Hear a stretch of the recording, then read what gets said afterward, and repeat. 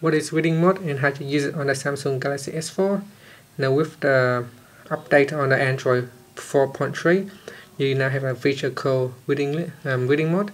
Simply just slide down the notification panel from the top then slide across. There is a feature called reading mode. Simply uh, tap and hold to that and you can go into reading mode. And within the reading mode there's a switch. You can turn on or turn it off. Now you can tap on the edit button here and then you can choose the app which you want to add to the reading list. So I'm just going to uh, add this particular app here Chrome and tap on done. And it's been added to the reading mode list. So once you add it to the reading mode list you can um, launch the application. For example this one here you can see the screen will now be slightly darker. It adds some kind of like a vanilla from transparent uh, layer on top of the original uh, layer. And it will be a lot of it's a little bit uh, darker than the than the normal one.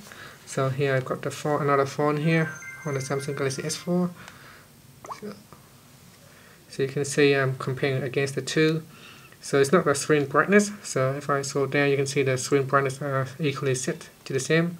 So I'm setting both on zero. So go back up. You can see on this one here is a lot brighter. This is running uh, Android version 4.2 0.2 and this one is 4.3 and when I activate the reading mode it's a little bit darker and it's kind of like yellowish. See if I turn off reading mode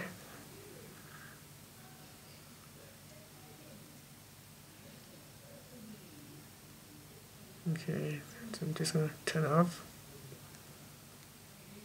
You can see well we it's, it's removed that yellowish uh, color. So now both these are pretty much the same. And if I turn it back on you can see there's a yellow layer laid over the top. Yes, there you go. Thanks for watching this uh, video. Please subscribe to my channel for more video tutorials